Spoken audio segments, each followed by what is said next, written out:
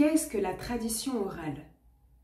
Pourquoi la parole a-t-elle une origine divine dans toutes les traditions africaines? On découvre le pouvoir de l'oralité avec Amadou Mbateba.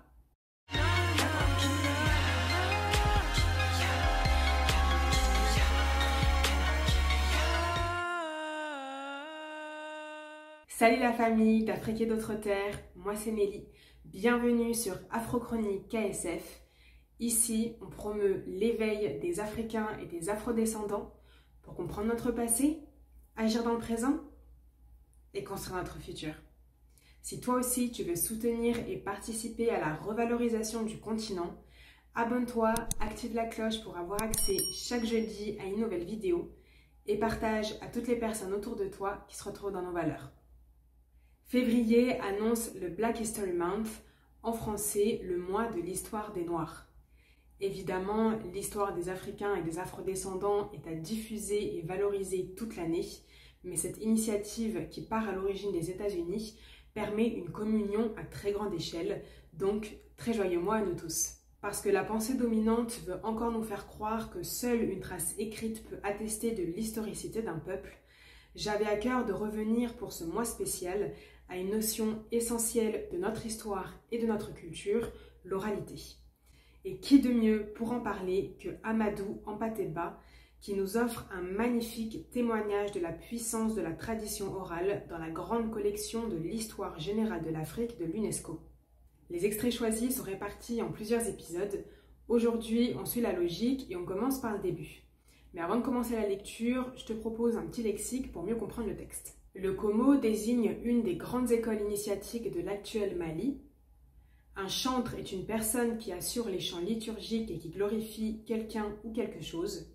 Le fulfult est une autre appellation pour poulard, la langue du peuple peul. À la fin de la vidéo, je te partagerai le commentaire de la semaine. Je voulais aussi te prévenir qu'il y a plusieurs mots en langue locale. Pour la majorité, c'est du poulard et du bambara. Et euh, ma prononciation est complètement nulle, donc toutes mes excuses. Je pense que j'ai tout dit. Installe-toi confortablement, on commence la lecture.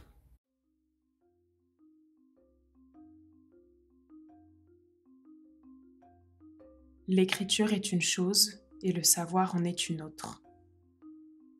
L'écriture est la photographie du savoir, mais elle n'est pas le savoir lui-même. Le savoir est une lumière qui est en l'homme. Il est l'héritage de tout ce que les ancêtres ont pu connaître, qui nous ont transmis en germe, tout comme le baobab est contenu en puissance dans sa graine. Tierno Bocard. Qui dit tradition en histoire africaine dit tradition orale, et nulle tentative de pénétrer l'histoire et l'âme des peuples africains ne saurait être valable si elle ne s'appuie sur cet héritage de connaissances de tous ordres, patiemment transmis de bouche à oreille et de maître à disciple à travers les âges. Cet héritage n'est pas encore perdu et repose dans la mémoire de la dernière génération des grands dépositaires, dont on peut dire qu'ils sont la mémoire vivante de l'Afrique. On a longtemps pensé, dans les nations modernes où l'écrit prime le dit, où le livre est le principal véhicule du patrimoine culturel, que les peuples sans écriture étaient des peuples sans culture. Cette opinion toute gratuite a commencé heureusement à s'effriter depuis les deux dernières guerres, grâce aux travaux remarquables de certains grands ethnologues de toutes les nations.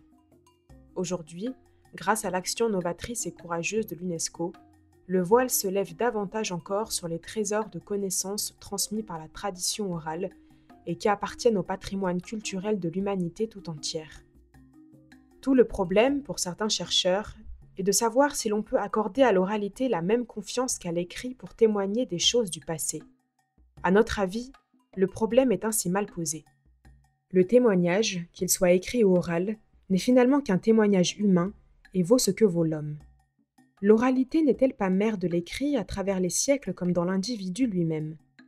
Les premières archives ou bibliothèques du monde furent les cervelles des hommes. Par ailleurs, avant de coucher sur le papier les pensées qu'il conçoit, l'écrivain ou le savant se livre à un dialogue secret avec lui-même. Avant de rédiger un récit, l'homme se remémore les faits tels qu'ils lui ont été rapportés, ou bien, s'il les a vécus, tels qu'il se les raconte lui-même. Rien ne prouve a priori que l'écrit rende plus fidèlement compte d'une réalité que le témoignage oral transmis de génération en génération. Les chroniques de guerre modernes sont là pour montrer que, comme on dit, chaque parti ou chaque nation voit midi à sa porte. À travers le prisme de ses passions, de sa mentalité propre ou de ses intérêts, ou le désir de justifier son point de vue.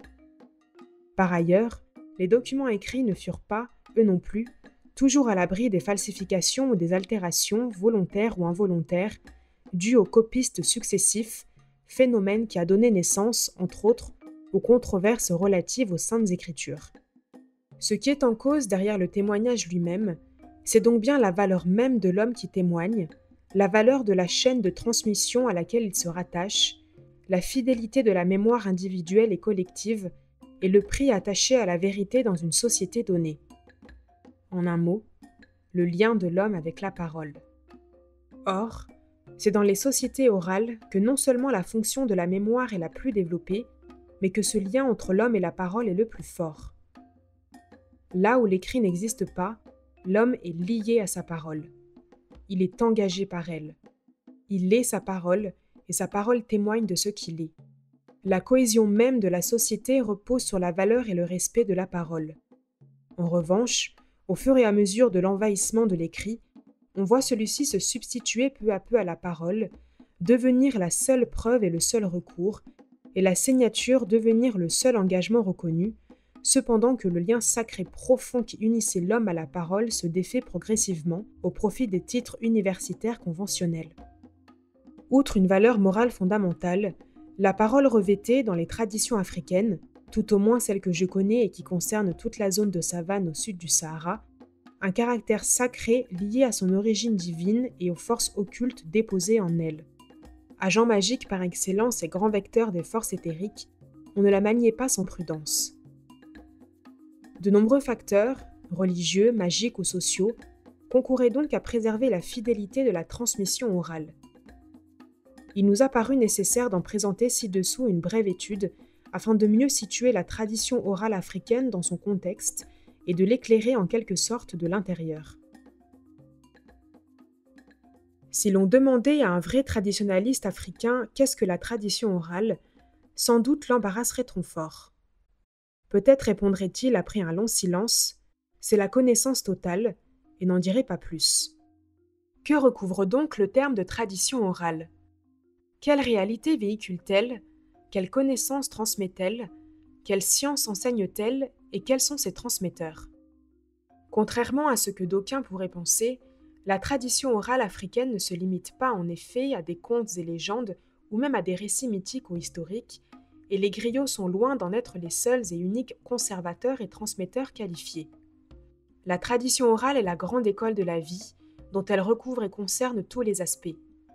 Elle peut paraître chaos à celui qui n'en pénètre pas le secret, et dérouter l'esprit cartésien habitué à tout séparer en catégories bien définies. En elle, en effet, spirituel et matériel ne sont pas dissociés. Passant de l'ésotérique à l'exotérique, la tradition orale sait se mettre à la portée des hommes, leur parler selon leur entendement et se dérouler en fonction de leurs aptitudes. Elle est tout à la fois religion, connaissance, science de la nature, initiation de métier, histoire, divertissement et récréation, tout point de détail pouvant toujours permettre de remonter jusqu'à l'unité primordiale. Fondée sur l'initiation et l'expérience, elle engage l'homme dans sa totalité, et à ce titre, on peut dire qu'elle a contribué à créer un type d'homme particulier, à sculpter l'âme africaine. Liée au comportement quotidien de l'homme et de la communauté, la culture africaine n'est donc pas une matière abstraite que l'on puisse isoler de la vie. Elle implique une vision particulière du monde, ou plutôt une présence particulière au monde, conçue comme un tout où tout est relié et interagissant. La tradition orale repose sur une certaine conception de l'homme, de sa place et de son rôle au sein de l'univers. Pour mieux la situer dans son contexte global, il nous faut donc, avant de l'étudier dans ses divers aspects, remonter au mystère même de la création de l'homme et de l'instauration primordiale de la parole telle qu'elle l'enseigne et duquel elle émane. Ne pouvant parler valablement des traditions que je n'ai pas vécues ou étudiées personnellement, notamment celles relatives au pays de la forêt, je prendrai mes exemples de base dans les traditions de la savane au sud du Sahara, ce qu'on appelait autrefois le Bafour, et qui constituaient les zones de savane de l'ancienne Afrique occidentale française. La tradition bambara du Como enseigne que la parole, Kuma, est une force fondamentale et qu'elle émane de l'être suprême lui-même, Mahangala, créateur de toutes choses. Elle est l'instrument de la création. Ce que Mahangala dit, c'est, proclame le chantre du dieu Komo. Le mythe de la création de l'univers et de l'homme, enseigné par le maître initiateur du Komo, qui est toujours un forgeron aux jeunes circoncis, nous révèle que lorsque Mahangala éprouva la nostalgie d'un interlocuteur, il créa le premier homme, Maha. Jadis, la jeunesse s'enseignait durant les 63 jours de retraite imposés aux circoncis en leur 21e année, et l'on mettait ensuite 21 ans à l'étudier et à l'approfondir. À la lisière du bois sacré, demeure du Como, le premier circoncis scandait les paroles suivantes. Mahangala, Mahangala. Qui est Mahangala Où est Mahangala Le chantre du Como répondait Mahangala, c'est la force infinie. Nul ne peut le situer dans le temps ni dans l'espace. Il est Dombali, inconnaissable, Dambali, incréé infini. Puis, après l'initiation, commençait le récit de la jeunesse primordiale. Il n'y avait rien sinon un être. Cet être était un vide vivant, couvant potentiellement les existences contingentes. Le temps infini était la demeure de cet être un. L'être 1 se donna le nom de Mahangala. Alors il créa Fan, un œuf merveilleux comportant neuf divisions, et y introduisit les neuf états fondamentaux de l'existence.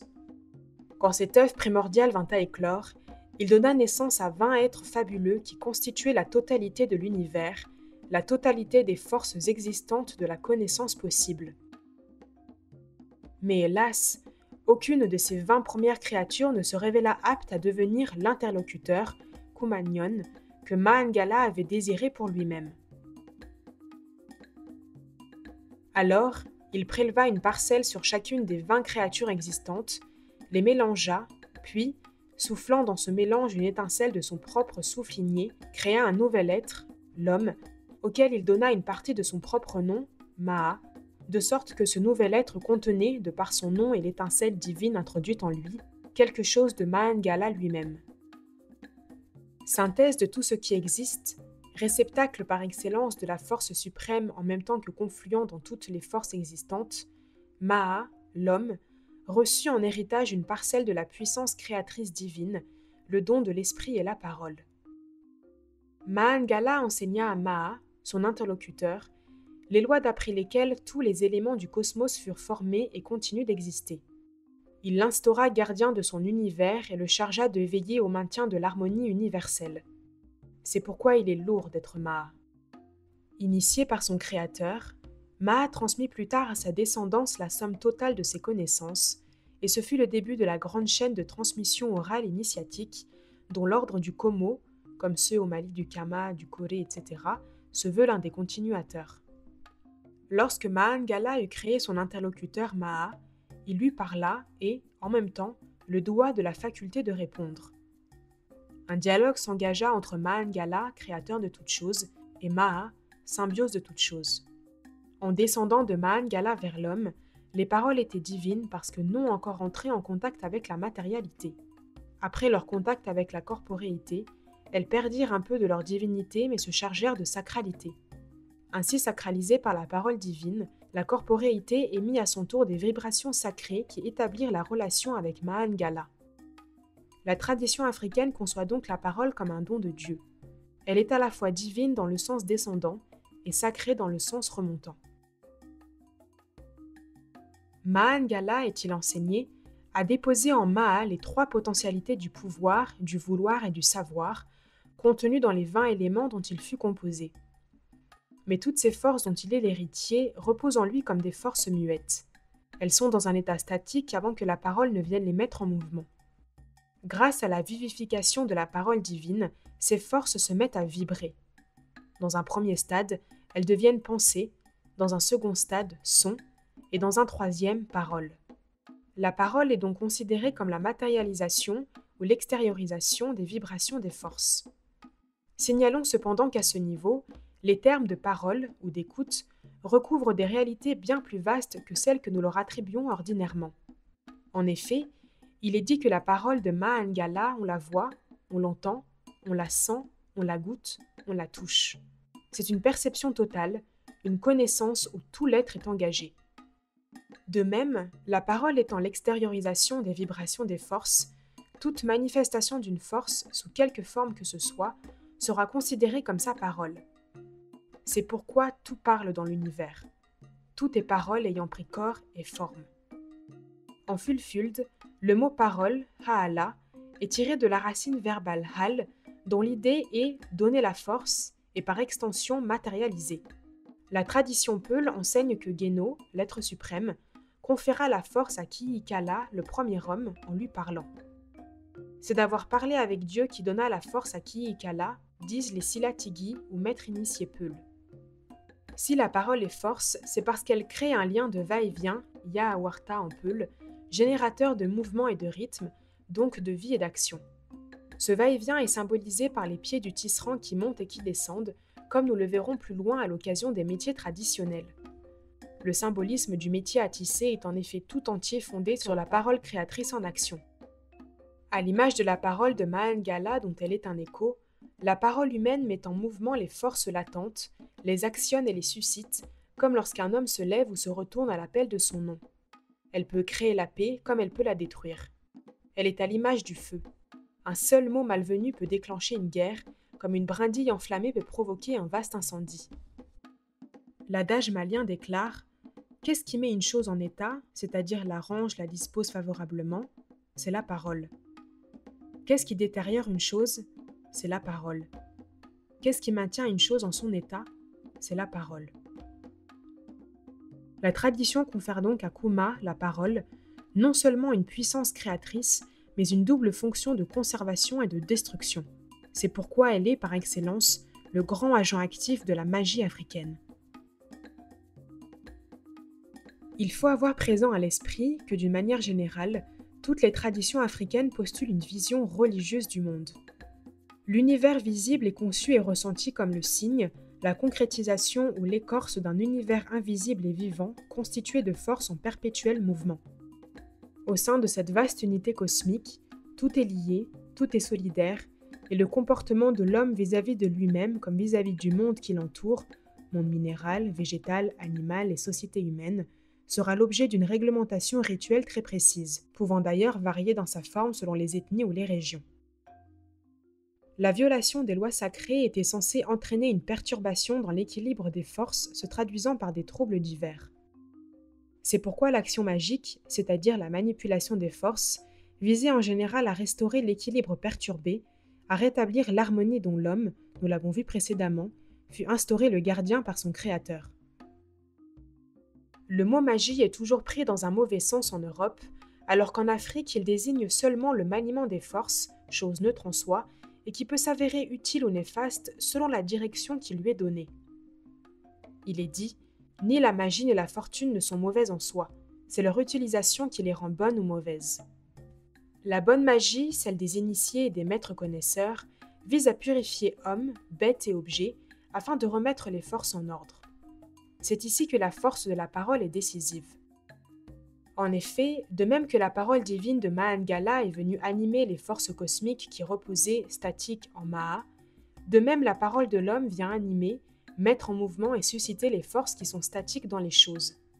Mais pour que la parole produise son plein effet, il faut qu'elle soit scandée rythmiquement, parce que le mouvement a besoin de rythme, lui-même fondé sur le secret des nombres.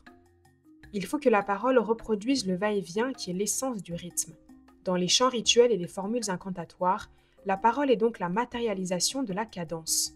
Et si elle est considérée comme pouvant agir sur les esprits, c'est parce que son harmonie crée des mouvements, mouvements qui engendrent des forces, ces forces agissant sur les esprits qui sont eux-mêmes des puissances d'action.